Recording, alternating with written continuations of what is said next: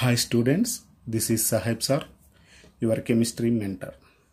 Today we are going to learn about the products at electrodes deposited or released during electrolysis process in electrolytic cell.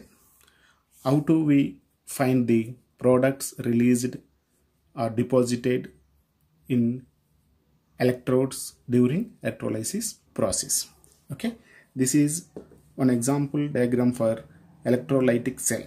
Here is anode. This is cathode. This is electrolyte. When we pass the current through electrolyte the electrolyte are dissociated or ionized as their ions. That is cation and anion. Based on electrolyte based on electrolyte state the products are released. What is the electrolyte states they have two types of electrolytes. One is molten or fused electrolyte. Second one is aqueous electrolyte. What is molten or fused electrolyte? This is pure electrolyte. Pure electrolyte that is in molten state. Example NaCl only NaCl is present in electrolyte. Whereas aqueous electrolyte. Aqueous means these NaCl dissolved in H2O H2O so H2O also present in electrolyte. This aqueous means without with electrolyte H2O also water molecules also present okay? In pure electrolyte that is molten or fused only Na plus Cl minus or ions are present. Whereas aqueous electrolyte condition there is four types of electron ions are present. Two types of cations two types of anions. Na plus H plus cations are present. Cl minus OH minus anions also present. Okay according these what occurs? What is the products when molten or fused state? First of all we learn about fused state or molten state electrolytic process during electrolysis. What are the products dissolved sorry deposited or released at electrodes that is anode and cathode? First of all take NaCl fused or molten NaCl. When we take fused or molten take molten state NaCl, what happens at cathode? Cathode. What happens at cathode? Na plus receives one electron and deposited as sodium at cathode. This is reduction. What is reduction? Reduction at anode. What uh, happens? Cl minus ion loses their electron and forms of Cl loses one electron. This is oxidation. We know. Cathode and anode at cathode sodium deposited at anode chlorine gas is liberated. Okay? This process of reduction and oxidation there is no problem with molten state electrolytes to find the products which products released at electrodes. But where the difficulty when aqueous electrolytes are be taken then difficulty is find the products. Okay? Next take. Aqueous solution. Aqueous electrolytes. Aqueous electrolytes Example here NaCl as well as H2O both are present. What is the aqueous means?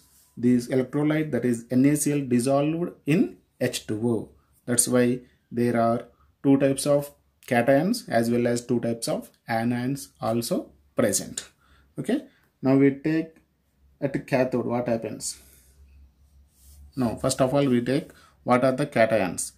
Na plus cation and H plus cation whereas Cl minus anion and OH minus anions are present.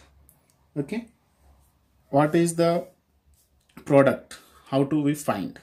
That is in cations which have higher reduction potential. Higher reduction potential. That is the product. Whereas anions higher oxidation potential. Higher oxidation potential which have chlorine or OH that is the product. Okay? Na if Na is the higher reduction potential sodium deposited at cathode. If H plus has H2 gas is liberated.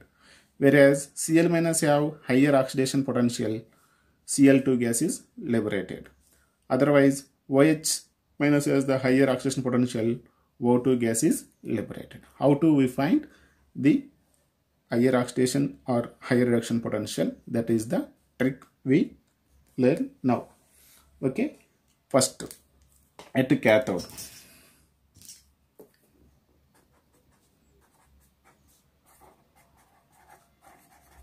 Which reaction occurs at cathode? Reduction. So, if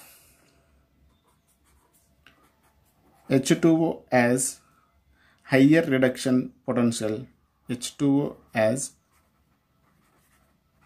higher reduction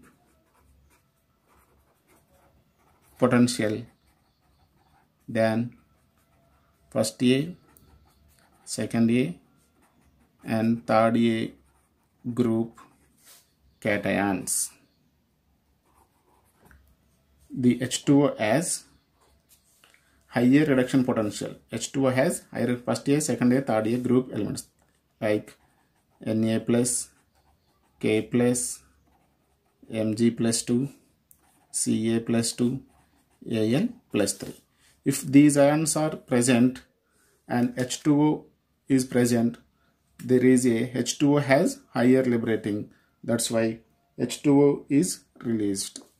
H2 gas is released. Example 2H2O takes 2 electrons and forms H2 plus 2OH minus. H2 gas is liberated at cathode. That is simple trick. H2O has higher reduction potential than first A, second A and third A group cations. This is the first trick. What happens at anode? At anode. What occurs at anode? Oxidation is occurs. So oxidation potential we can find. At uh, sorry, cathode H2 has higher oxidation potential. Now we learn if H2 has lower oxidation potential. Next second point, the H2O has lower reduction potential than other than sorry other than first A second A third A group cations like Cu plus 2 Cu plus 2 Ag plus cadmium plus 2 and zinc plus 2 like these. Like these cations are present. H2O has lower oxidation potential other than Cu plus 2 Ag plus Cd plus 2 Zn plus 2 then these cations are liberated or deposited at cathode. Okay students clear? Next at anode. At anode. At anode. What occurs at anode? First of all H2O has higher oxidation potential H2O has higher oxidation potential.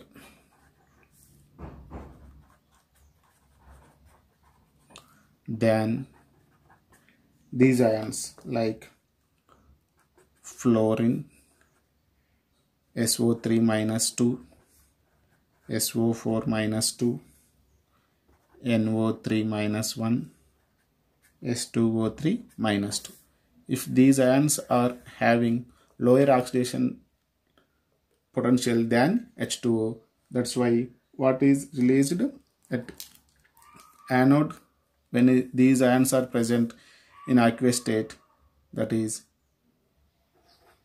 2H2O it releases 2 electrons and gives oxygen gas plus 4H plus and 4 electrons. Okay O2 gas is released.